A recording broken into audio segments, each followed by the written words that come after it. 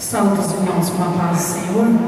Graças a Deus, meus irmãos, nós estamos aqui nesta manhã para dar continuidade a essa festa tão maravilhosa. O Senhor esteve conosco ontem abençoando e hoje de manhã e à noite não vai ser diferente, porque nós estamos no mesmo sentido, no mesmo espírito, espírito de adoração, servindo a Deus.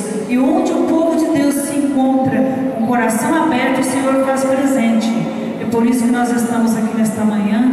Vamos estar ouvindo os irmãos, falar do grande amor de Deus, adorar a Deus, juntamente conosco, nós possamos ter liberdade de estar na presença dEle, de agradecer a Ele e adorar a Ele com a nossa gratidão, com o nosso louvor. Vamos ouvir, irmã Dica, trazer uma palavra de salvação, nossa segunda dirigente do Círculo de Oração, enquanto a irmã Elza chega.